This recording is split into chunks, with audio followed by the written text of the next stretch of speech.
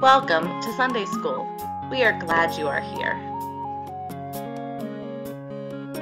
We can't be together at church, so we are glad you are joining us for Sunday School at home. So come on in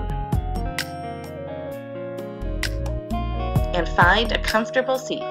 Hear the parable of the sower. Good morning. Welcome to ELPC Church School. Glad to have you here with us today. We are still the church family, even though we're not in our building yet. We're delighted that you can be here to share in our story time. The Lord be with you and also with you. First song we're going to sing today is called I Am Sent by God, and the words go like this I am sent by God, I'm ready to serve, to make the world a place of justice and shalom. Sing it with me.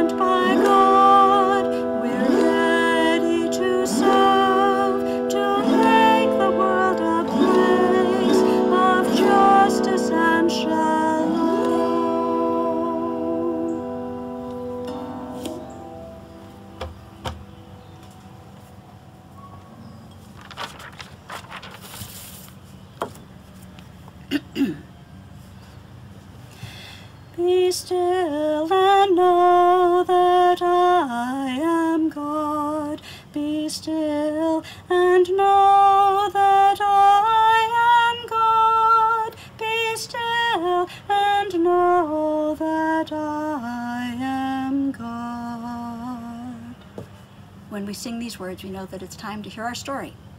So get yourselves comfortable. Our stor- Our story today is the story of the sower. I wonder if this is a parable.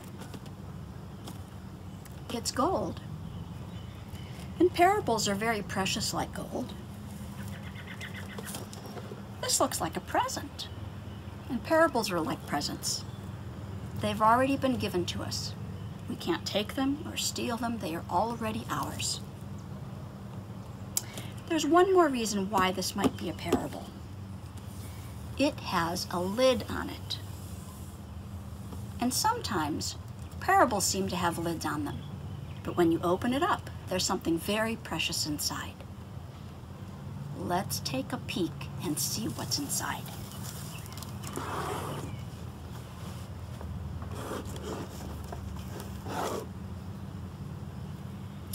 Wow, is this bright?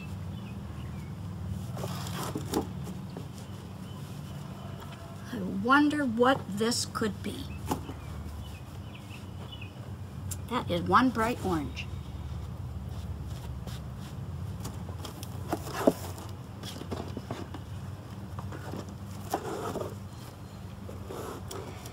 Once there was someone who said such amazing things and who did such amazing things that people began to follow him.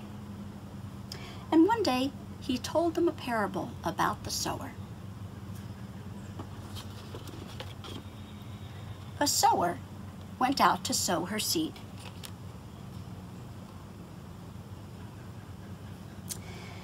And she scattered some seeds and they fell along the path. But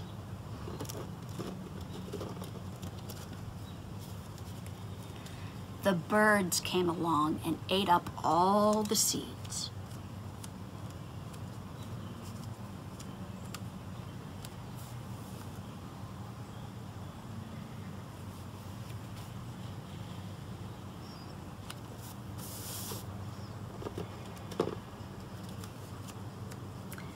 Then some of the seeds fell on the rocks She planted her seeds and they fell on the rocks. And the little seeds began to grow. But then they could not put their roots down very far in the rocks and they died. So the sower went on a little more.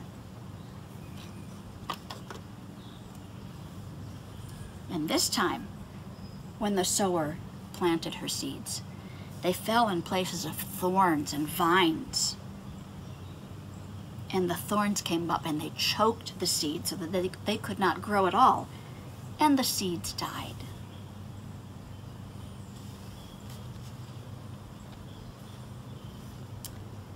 Now,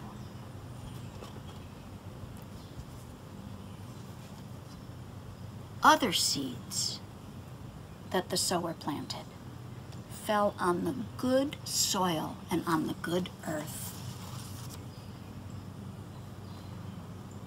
And when these little seeds put down their roots, they grew and they grew and they grew.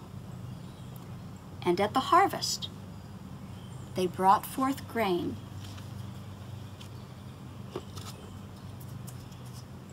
some 30 bushels, some 60 bushels,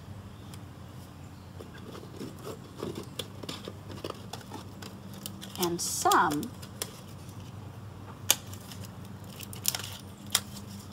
one hundred bushels of grain.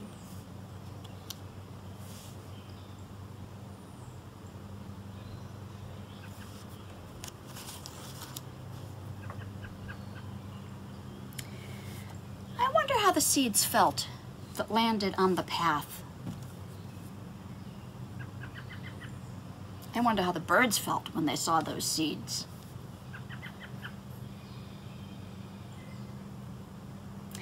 I wonder how the seeds felt when they landed in the places of rocks and they couldn't put their roots down at all.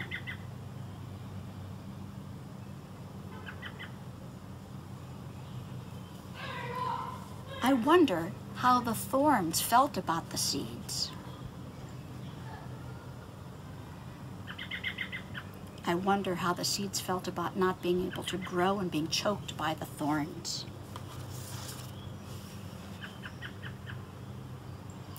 I wonder how the seeds felt when they got to the good soil where they could put their roots down and feel the sunshine and they could grow and grow and grow.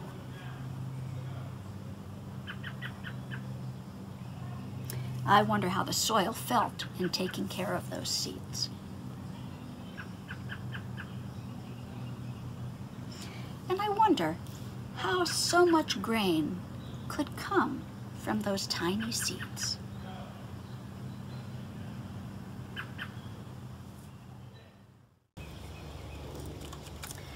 We light the Christ candle to remind us that Christ is with us as we hear the Word of God.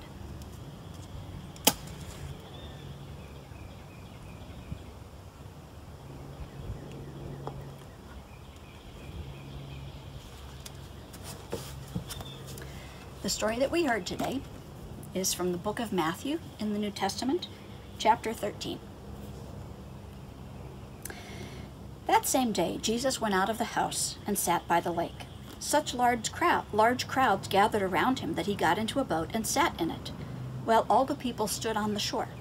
Then he told them many things in parables, saying, A farmer went out to sow his seed. As he was scattering the seed, some fell along the path, and the birds came and ate it up. Some fell on rocky places, where it did not have much soil. It sprang up quickly, because the soil was shallow. But when the sun came up, the plants were scorched, and they withered because they had no roots. Other seed fell among thorns, which grew up and choked the plants.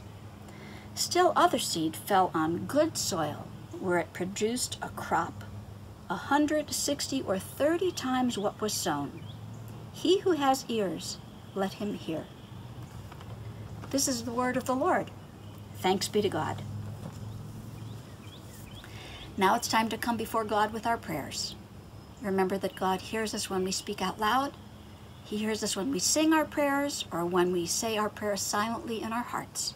God is always listening. I'm going to say some a line and I want you to think of some things that you may either say out loud. I'm going to say like thank you God for and I want you to try to fill in some things that you're ready to thank God for today. You might think of your family or your pets. You might think of the beautiful outdoors if you've been out a lot in these some we've had a little bit of sun this week. We're going to be thanking God, we're going to be praising God. We're going to also share with God some of the things that we're worried about, some of the things that might scare us a little bit. We're all still in our homes, and that can be a that's a little different experience. It can be a little scary. But we know that God is with us, that God is caring for us, and we pray for God's safety and blessings upon our whole church family. Let us give thanks to the Lord our God. It is right to give God thanks and praise. Let's pray together. We thank you, God, for this beautiful day. We thank you for the glory of your creation. We thank you for the beautiful sunshine, for the birds that I can hear singing, for all of these gifts that you gave us in your good earth. We thank you, God, for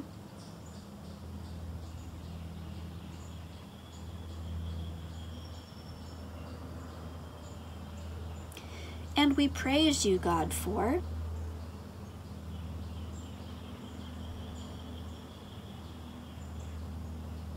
We are grateful for our story today, the story of the sower, that it helps us to understand our lives and how you care for us. But sometimes, God, even then, we can be a little afraid. And so we ask God that you will help us with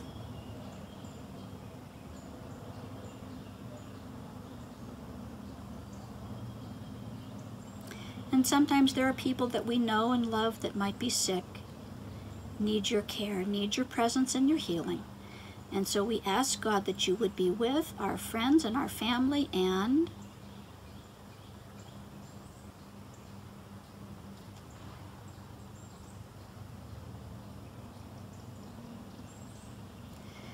for all of your many gifts, God, and your grace and your presence, we give you thanks and praise. In Jesus' name we pray. Amen. And now, the light of Christ that was in one place can be in many places, all at the same time.